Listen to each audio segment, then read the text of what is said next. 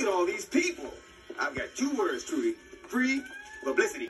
Well, I've got four words for you, Oscar. Get my daughter down now. That's five words.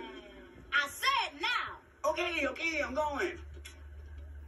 Trudy, I should have mentioned it to you, but Oscar's scared of heights. Water, soap and toothpaste, his shadow, but I digress.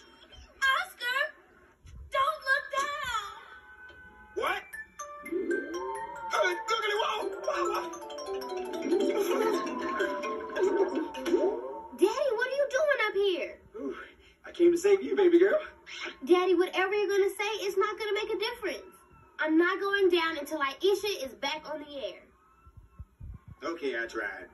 Now put on this Proud Snacks jacket and cap before you get cold. But it's not cold.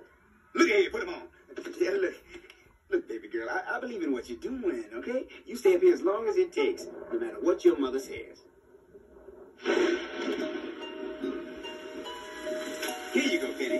And make sure